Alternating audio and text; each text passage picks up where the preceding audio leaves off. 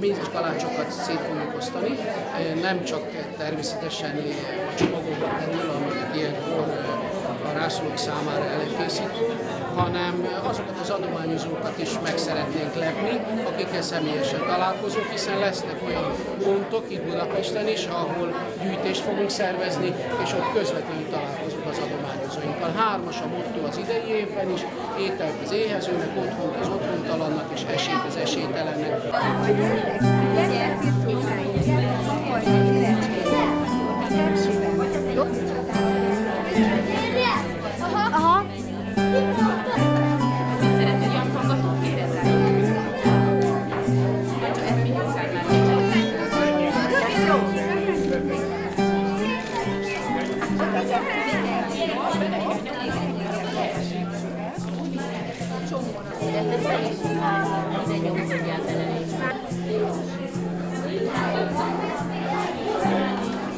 Senki fogacsosan udvariasan néz.